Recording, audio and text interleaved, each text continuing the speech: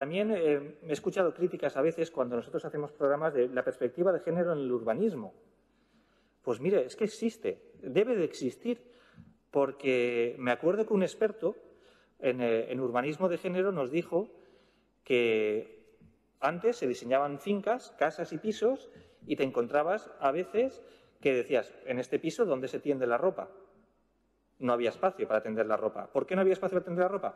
Porque el arquitecto que la diseñó nunca había tendido la ropa, porque era un hombre. Esto es un ejemplo que nos pusieron.